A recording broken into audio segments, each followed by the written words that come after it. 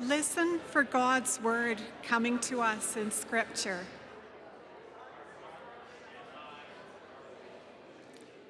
A reading from 1 John. We accept human testimony, but God's testimony is greater because it is the testimony of God, which He has given us about His Son.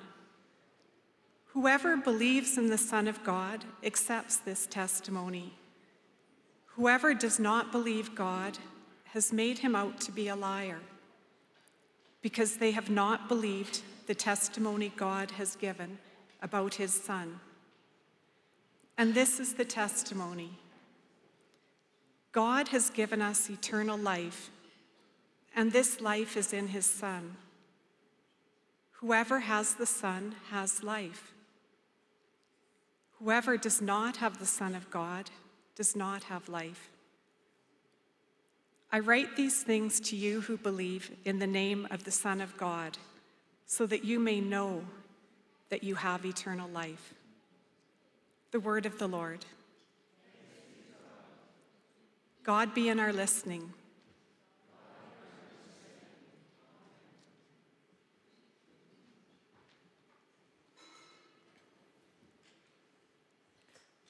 So, we are landing our series today. Our Easter season is drawing to a close, and John is landing his letter in the reading that we just heard.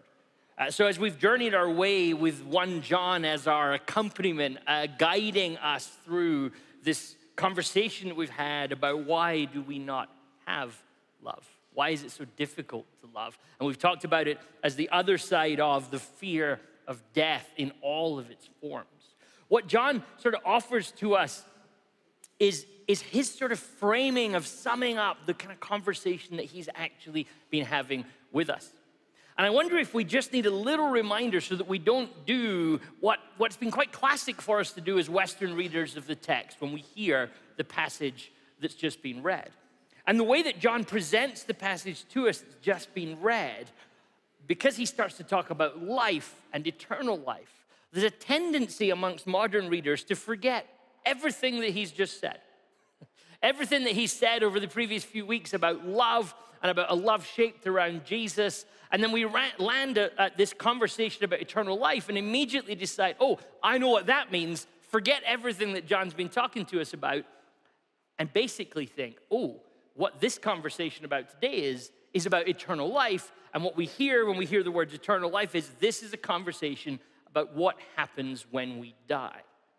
But if you've been listening to John throughout the previous weeks as he's led us through the letter, and if you read the whole letter, you realize that that's a really narrow way to understand what it is that John's been talking to us about. So I want to sort of remind us of a few pieces. And one of the best sort of summary passages of what's going on in John is actually what he says way back here two chapters ago in First John chapter 3. He says, Do not be surprised, my brothers and sisters, if the world hates you. We know that we have passed from death to life because we love each other.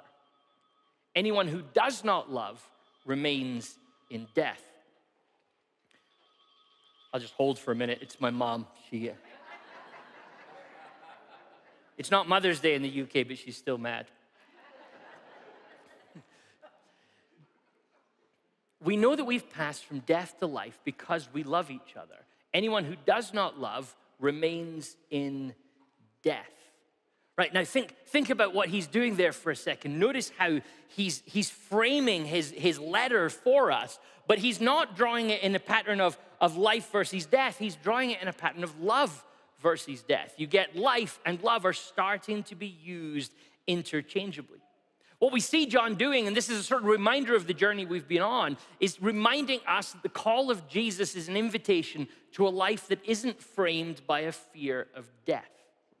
And a fear of death, of course, doesn't just mean, remember, dying. Uh, it, it's, it's death in all of its forms failure, shame, weakness, illness, age, or perceptions of all of those things that we see in the world. But the invitation of the gospel is an invitation to an open life, a life that's about loving and being loved, not pretending.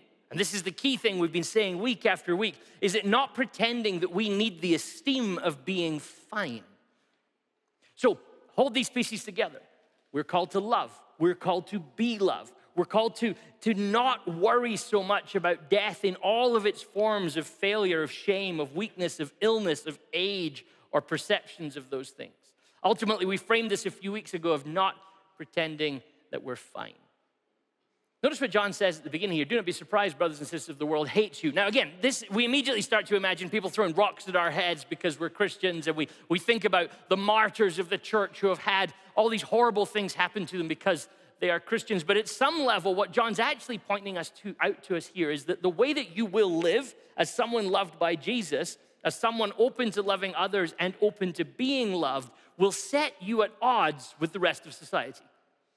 You will appear out of whack with everybody else. You'll appear out of sync with the way that the world goes. It will look as though the world hates you. The whole world is, is, is governed by the fear of death, of a selfish way of living, of a way of living that says me first and others maybe. When you come along and start to live in the way of Jesus, you'll start to cause problems for yourself. It will appear as though you're being hated. To live into neediness, to live into vulnerability, opens us up to the life that Jesus models, that Jesus witnesses to, that Jesus testifies to. And John says this is a move from death to life, from slavery to the fear of death to loving one another.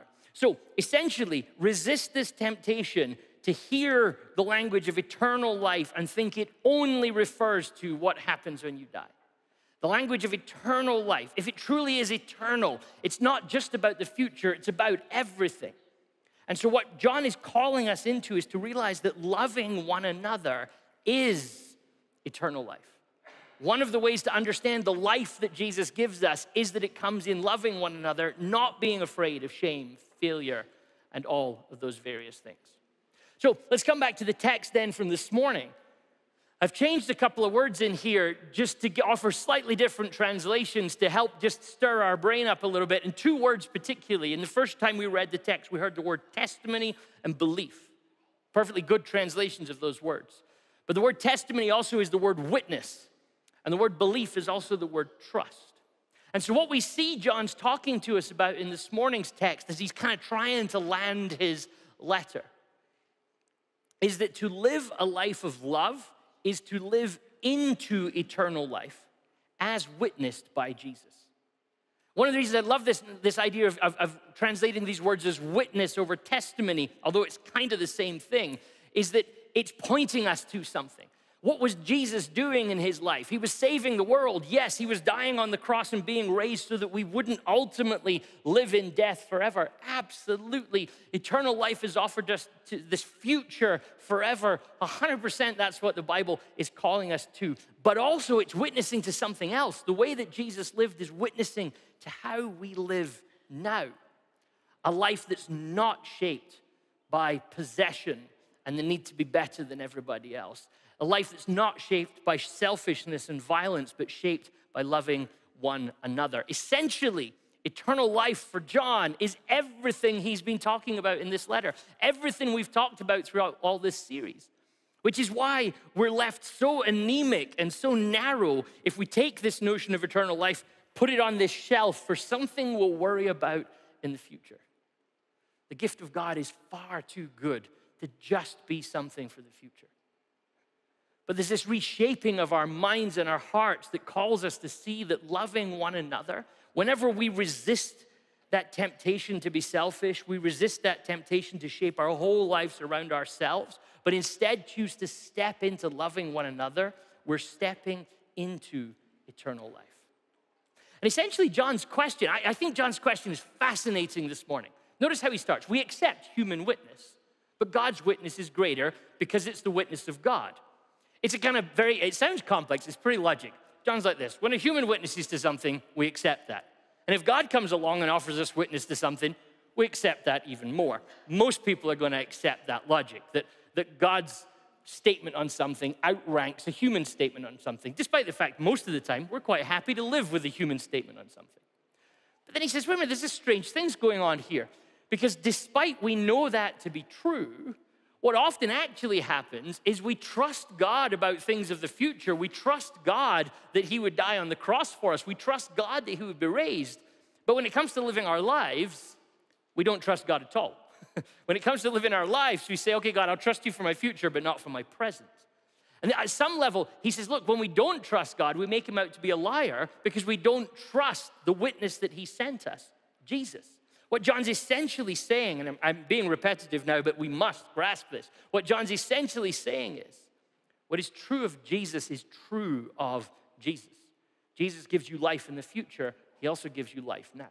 Jesus shows us what life in the future will look like. He also shows us what life now will look like. And it would be a strange position as followers of Jesus to hold. This is ultimately, I think, John's question to us. Why would we trust Jesus for the future but not the present?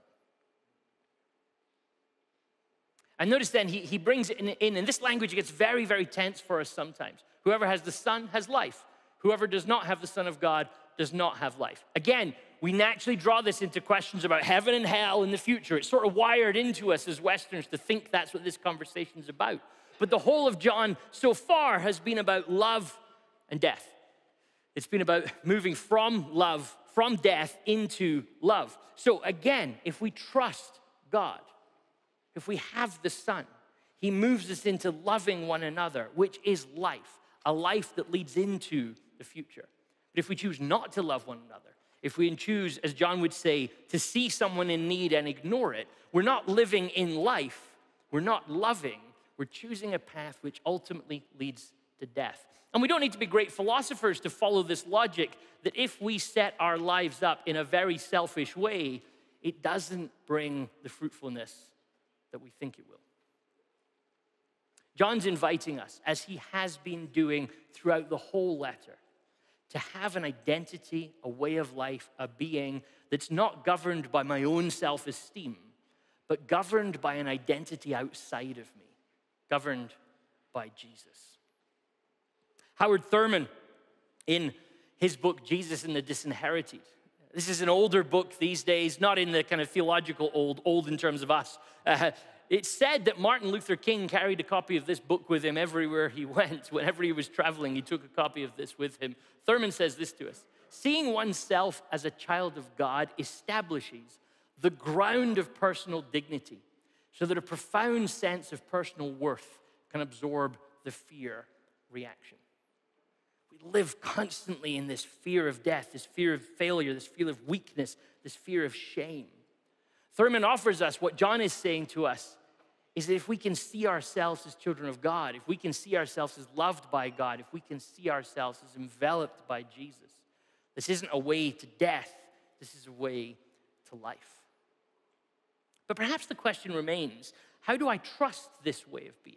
That's what John's inviting us to this morning trust this way of Jesus. How do I trust the love of Jesus and not keep reverting back into the slavery to the fear of death that we've talked about throughout the series? Is it possible to love and be loved in our contemporary context without being shaped by fears of neediness, esteem, failure, and possession? Is it possible to love and be held in slavery to fear? John's word to us is no. because if you keep if we keep setting our life around selfishness, if we keep setting our lives around something other than love, it's a path that won't work out well for us in this life, not simply in the next. What John is essentially showing us is that love is life. And that, I think, is the genius of the, of the Bible reading this morning that we, that we heard read to us, is that for the follower of Jesus, love and life are the same thing. When we love one another, when we choose to be loved, when we choose to sacrifice our own concerns about weakness, shame, and, and, and death, and all those things, we step into love. We step into life. But then that strikes us, perhaps, as this thought that comes to mind if love is life and we're not very good at loving, Is the Bible saying we're not very good at living? Yes, basically. it is. Stanley Hauerwas says this, and I, I love this to learn to follow Jesus is the training necessary to become a human being.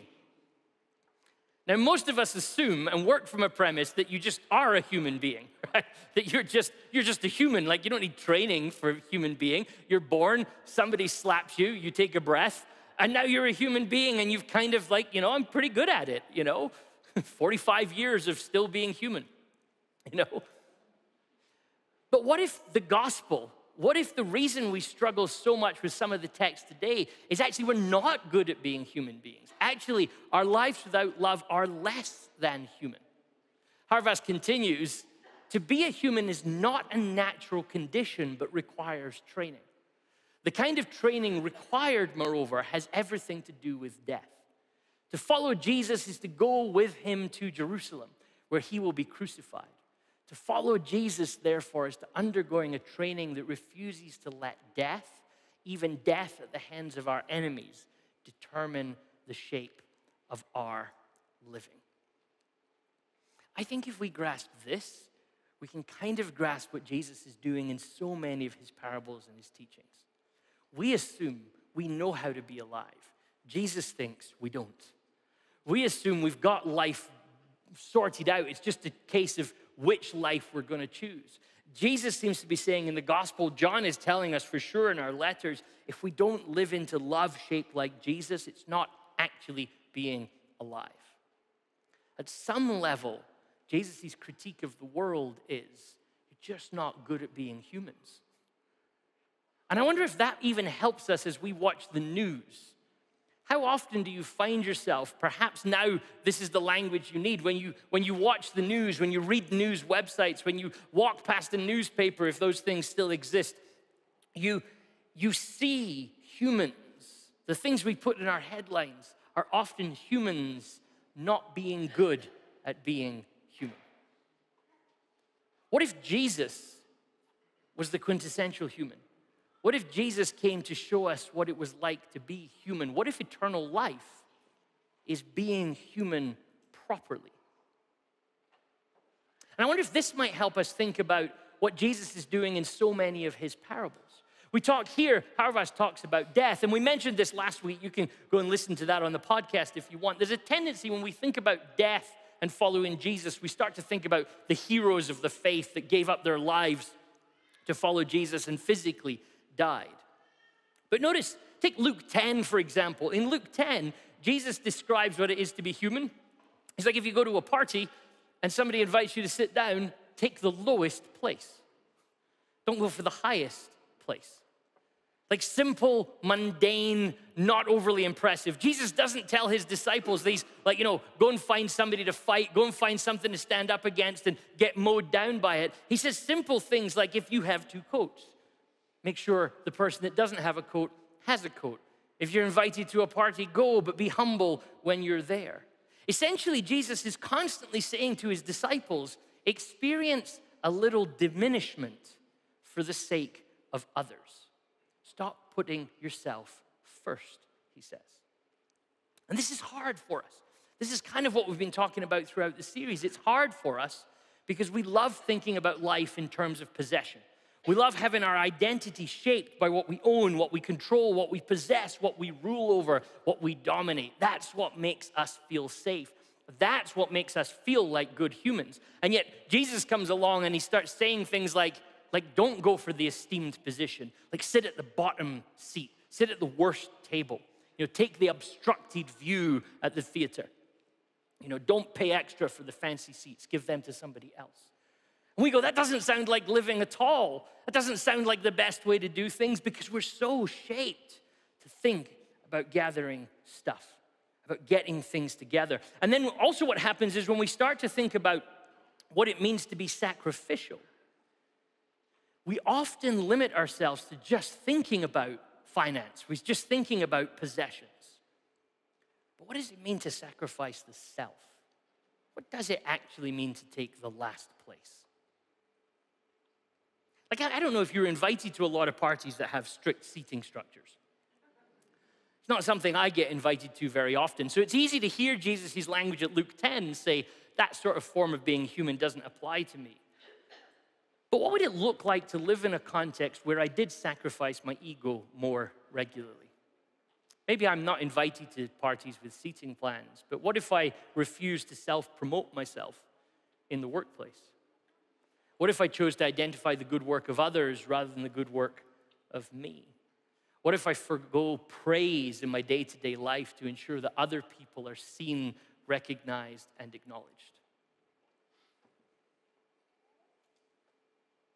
Like, that's, I think, us living into what Jesus calls us to a life of love that doesn't just think about myself in terms of gaining possessions, but a life of love that also doesn't just think of myself in terms of my own ego and esteem. What if I didn't need to be first at work? What if I didn't need to be first in my street? What if I didn't need to be first off the exit ramp on the highway? These are minor little things that call us into thinking about others differently.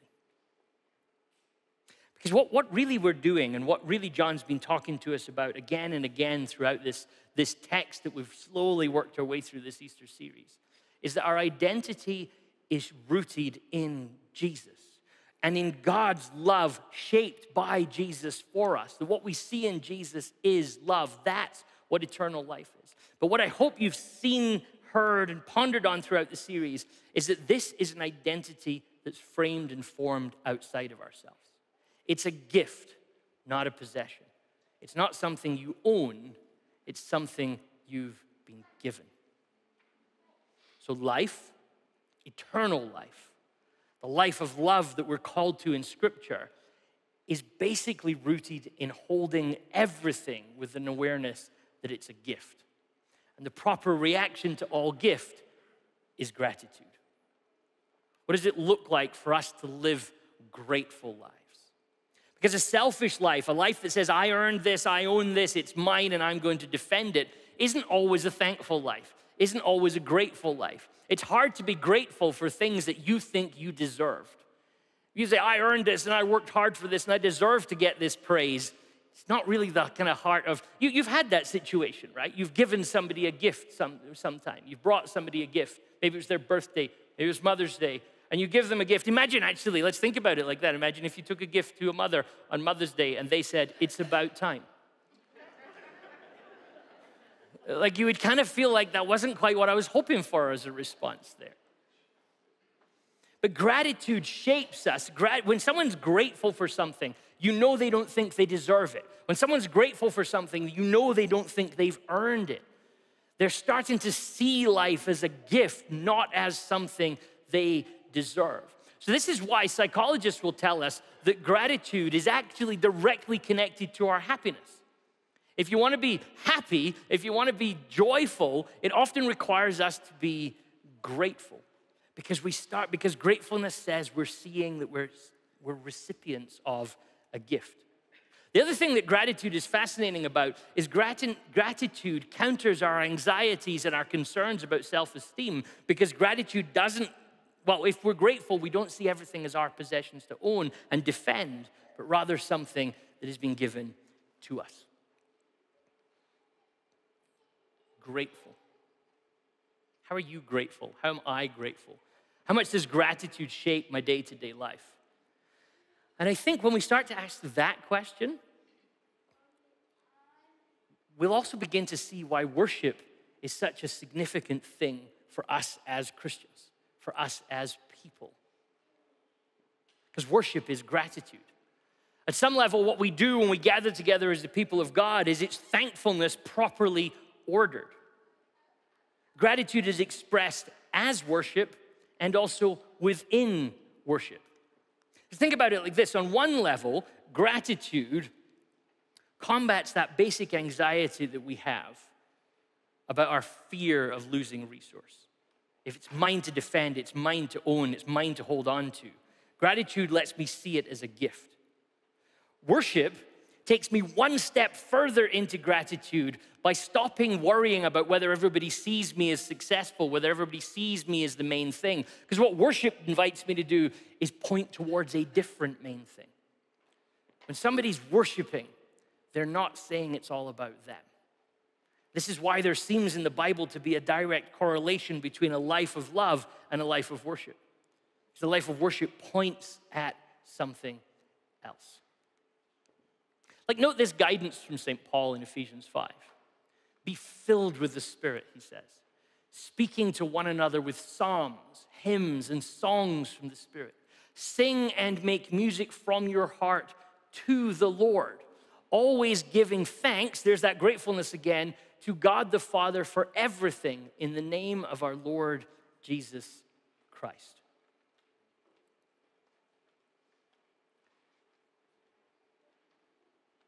Our self centered way of being doesn't want to do this.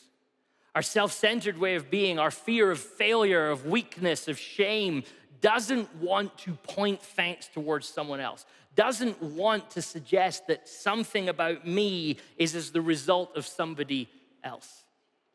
I want to appear like the self made person. And we're invited here in Ephesians to point it all towards Jesus. And I think if you wrestle with Ephesians chapter 5 today, and perhaps as you go into this week, the sort of shape of a church service will make sense to you. And if we don't grasp this sense of how Jesus forms us by love that comes from outside of us, the shape of a church service will rarely make sense to us. And I sometimes wonder if that's why we struggle with church so much, is we miss that what the church service is doing is leading us on a journey of pointing our hearts at Jesus. And I think when we come into a church service, if our mindset is, this is for me, which is often what happens, listen to how we talk about church sometimes. And we talk about it in very self centered ways. And if we come to a church service and it's all about me, my engagement with the service is very, very different. My engagement with you is very, very different. What we tend to do is we come to church and say,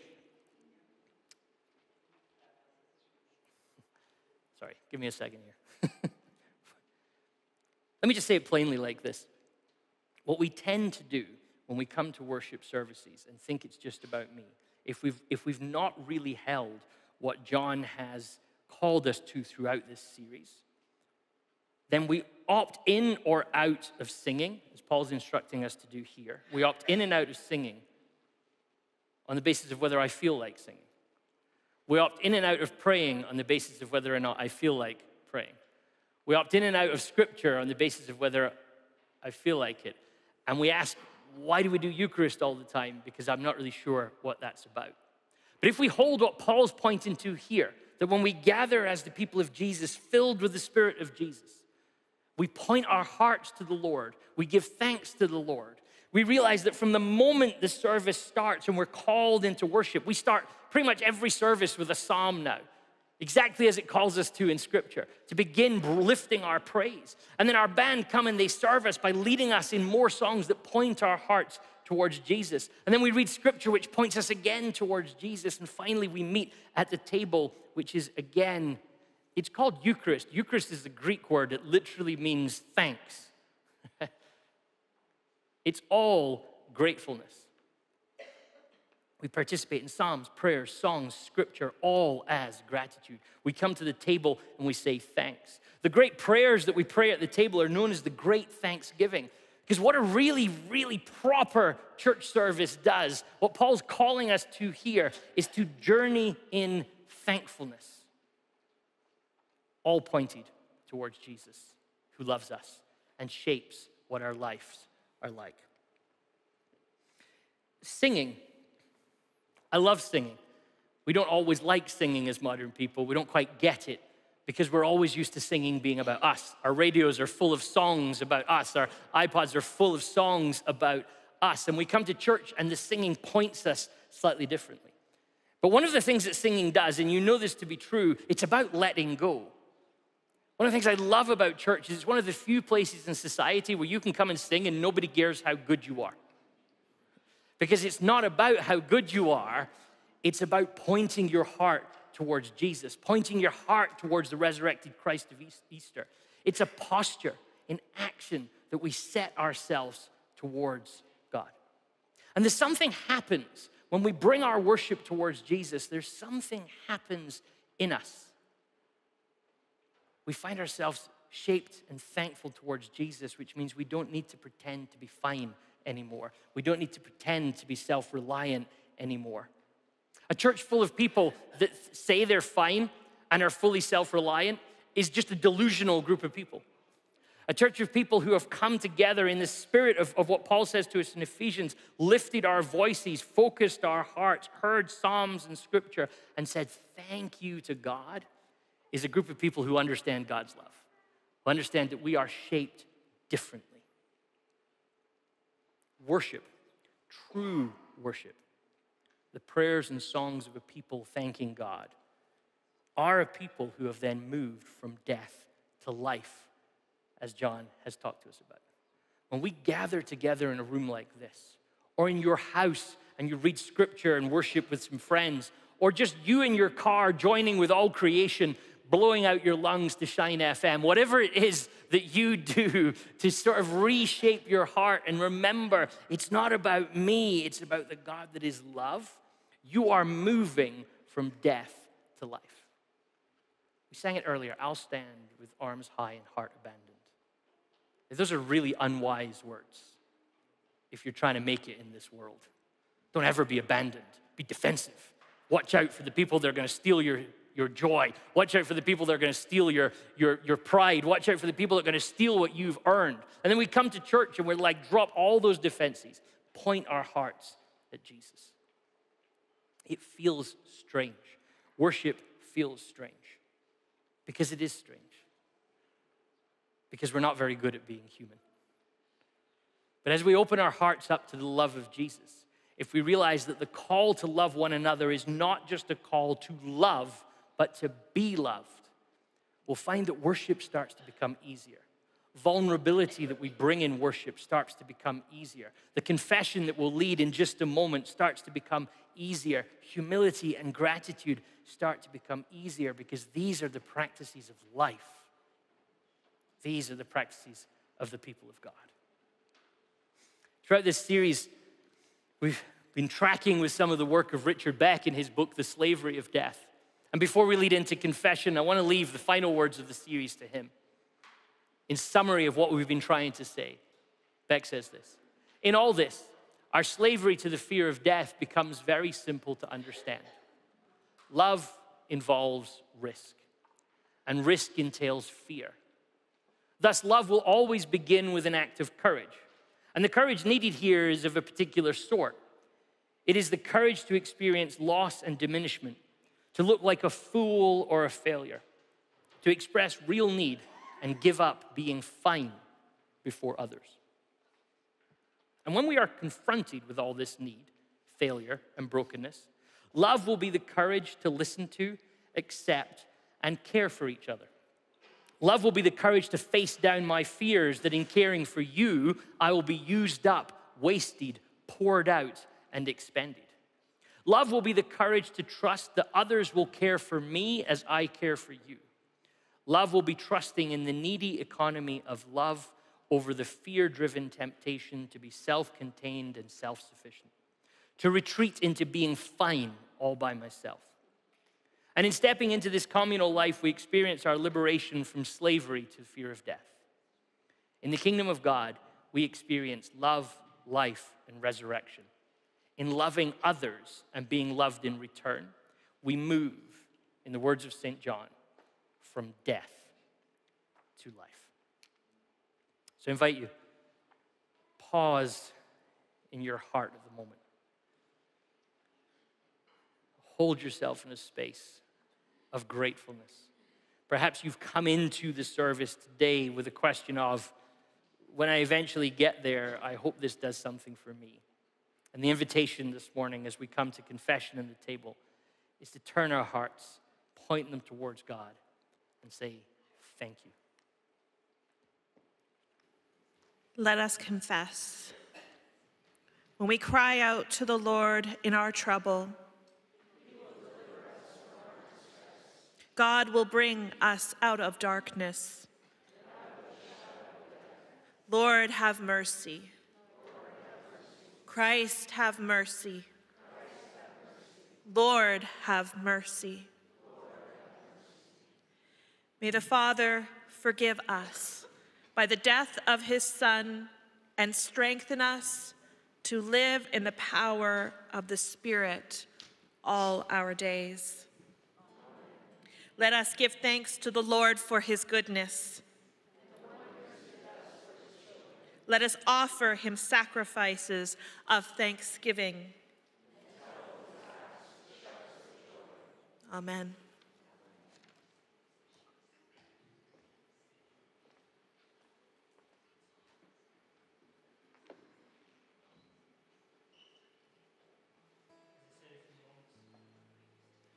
As I said a few moments ago, this, this prayer is known throughout the church as the Great Thanksgiving.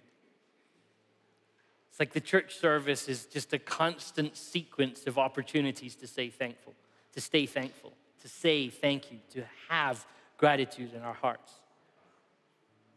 And so bring yourself with all of your thankfulness. Listen as, as, as I pray these prayers and we respond to how much thankfulness is shaped in what brings us to this table of thanks. So the Lord be with you. Lift up your hearts. Let us give thanks to the Lord our God. Thanks and praise to you, Jesus Christ, Lord of all, given the name above every other name. Jesus, Lord of all, we worship and adore you. King of righteousness, King of peace, enthroned at the right hand of majesty on high, Jesus, Lord of all, we worship and adore. You. Great high priest, living forever to intercede for us. Jesus, Lord of all, we worship and adore. Pioneer of our salvation, you bring us to glory through your death and resurrection. Jesus, Lord of all. Together, every knee bows to you, every tongue confesses you are Lord, to the glory of God the Father. Blessed is he who comes in the name of the Lord. Hosanna in the highest. On the night when he was handed over to suffering and to death, our Lord Jesus Christ took bread. And when he had given thanks to you, Father God, he broke it and gave it to his disciples and said, Take, eat. This is my body, which is given for you. Do this for the remembrance of me. And after supper, he took a cup of wine. And when he had given thanks, he gave it to them and said, Drink this, all of you. This is my blood of the new covenant, which is shed for you and for many for the forgiveness of sins. Whenever you drink it, do this for the remembrance of me. So until Christ returns, we proclaim the mystery of our faith. Christ has died, Christ is risen, and Christ will come again. Pour out your Holy Spirit on all of us gathered here and on these gifts of bread and wine. Make them be for us the body and blood of Christ, that we may be for the world the body of Christ, redeemed by his blood. By your Holy Spirit, Lord, we ask that you would make us one with Christ, one with each other, and one in ministry to all the world until he comes again. And all of this we ask through your Son, Jesus Christ, by him and with him and in him, in the unity of the Holy Spirit. All honor and glory is yours, Almighty Father, now and forever. Amen. Come, Holy Spirit. And as we invite the Holy Spirit into our hearts, into our room, we also hear the invitation of Jesus to join him at his table. This is the table, not of the church, but of the Lord. It is made ready for those who love him and those who want to love him more. So come, you who have much faith and you who have little, you who have been here often and you who have not been here long, you who have tried to follow and you who have failed. Come, because it is the Lord who invites you. It is his will that those who want him should meet him.